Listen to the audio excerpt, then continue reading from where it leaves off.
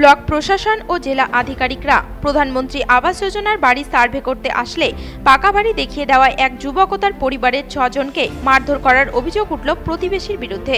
ঘটনাটি ঘটেছে দক্ষিণ দিনাজপুর জেলার কুসুমন্ডি ব্লকের ছয় নম্বর বেরোইল গ্রাম পঞ্চায়েতের খড়িকাদিঘি এলাকায়। জানা গেছে, প্রধানমন্ত্রী আবাস যোজনার বাড়ি সার্ভে করতে আসেন ব্লক প্রশাসন ও জেলার আধিকারিকরা। কংগ্রেসের বুথ সভাপতি জাহারুদ্দিন আহমেদের বাড়ি সার্ভে করার পর প্রশাসনিক আধিকারিকরা আব্দুল ছাত্তারের বাড়ি সার্ভে করার জন্য জাহারুদ্দিন আহমেদকে সাথে নিয়ে যান। মাদ্রাসা তৃণমূল সেক্রেটারি আব্দুল ছাত্তারের বাড়ি দেখিয়ে দেয় জাহারুদ্দিন আহমেদ।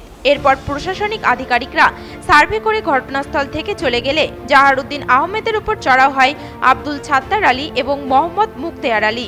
এবং তাকে মারধর করে বলেও অভিযোগ। পরবর্তীতে পরিবারের লোকজন তাকে বাঁচাতে আসলে পরিবারের লোকজনকেও লাঠি ও ধারালো অস্ত্র দিয়ে মারধর করা হয়েছে বলে অভিযোগ। এরপর উভয় পক্ষ হাতাহাতিতে জড়িয়ে পড়ে। এই ঘটনায় আহত হয় সাতজন সদস্য।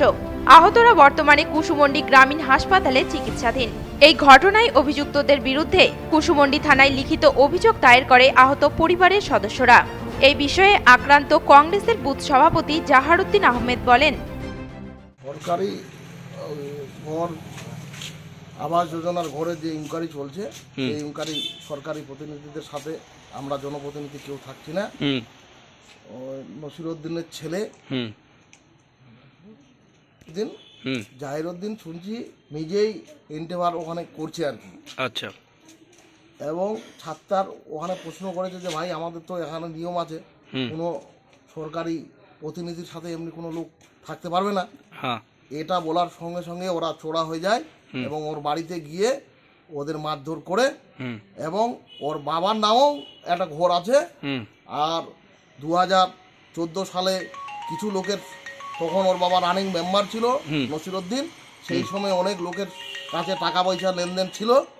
তারা যেন ঘর পায় এই কৌশলে ওরা জনপ্রতিনিধিদের সঙ্গে এই সরকারি প্রতিনিধিদের সঙ্গে যাওয়ার চেষ্টা করছে এটা বলতে গিয়ে মারপিট হয়। এই বিষয়ে আহত মহিলা রফিকা পারভিন বলেন।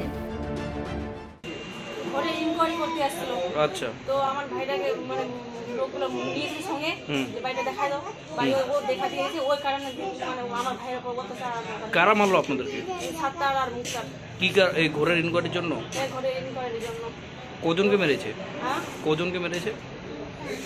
সাতটার আর মুক্তার মেরেছে আমাকে। থেকে ও- ও ঘরে ছ সাতজনকে মানে মানে নিয়ে আ- ইয়ে আঘাত করে দিয়েছে আমার এই হাতটা কামড়ে এসে এখানে দিয়েছে হুম। হাতটা ভাঙিয়ে দিয়েছে মনে হয়। আর এই যে কাপড় টাপড় ছিঁড়ে দিয়েছে এই এই মানে আগে সামনেটা গোটা লাভ এদিকে এই ঘটনায় আহত তৃণমূল সেক্রেটারি আব্দুল ছাত্তার বর্তমানে গঙ্গারামপুর সুপার স্পেশালিটি হাসপাতালে চিকিৎসাধীন রয়েছেন।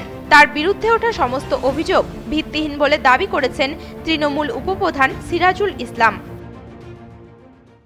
দুইটা আড়াইটার সময় পঞ্চায়েত থেকে দুইজন স্টাফ একজন জেলা থেকে আসে নসিরুদ্দিন সরকারের বাড়ি। মানে আমার বাবা। বলে যে তোমার বাবার নামে ঘর আছে তো ইনকোয়ারি করতে আসছি। তো আচ্ছা।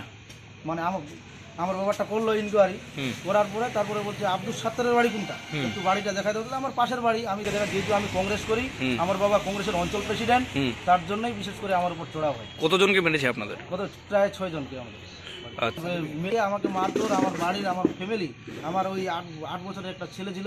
ছেলেটাকেও মারধর করেছে আর আমার বউকে মারধর করেছে আমার বোনের হাতটা ভেঙে দিয়েছে আমার বাবার মাথা আর এখানে হাই ছুরি হাসুয়া দিয়ে কেটে দিয়েছে ওরা বউ ইয়ে মিলে সাতটার মুক্ত। টোটাল কতজন? হ্যাঁ আরেকবার বলো কতজন আচ্ছা। আপনাদের উপর? তখন বলতে মানে অফিসার যাওয়ার কিছুক্ষণের মধ্যেই। আচ্ছা।